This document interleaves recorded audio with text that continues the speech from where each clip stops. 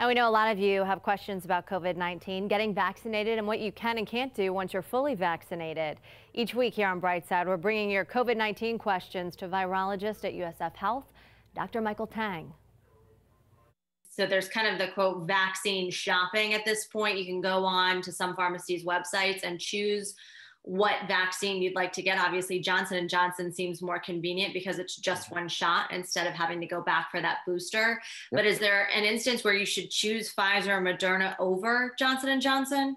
There's there's you know advantages and drawbacks to each one. I mean, I think the the ease of getting a single shot is you have to consider that in addition to you know this booster shot. The boosters certainly give you at least a higher level of antibodies Dr. Teng says it's rare, but some people have an allergy to an ingredient in the Pfizer and Moderna vaccines called polyethylene glycol, which is a lipid fat droplet.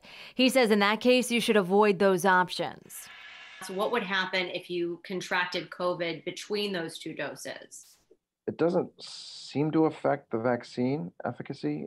It's kind of that two week period after the first dose where you're more likely to get infected because again, the um, vaccines provide some level of um, immunity about, after about two weeks. We do know, for example, that people who have recovered from COVID and then have gotten that first shot of Pfizer or Moderna, uh, specifically Pfizer, they seem to have a little bit more side effects that first shot. The CDC has come out with its recommendations for people who are fully vaccinated and what they can and can't do. They still are not promoting travel for people who are fully vaccinated. So, what's the science behind that?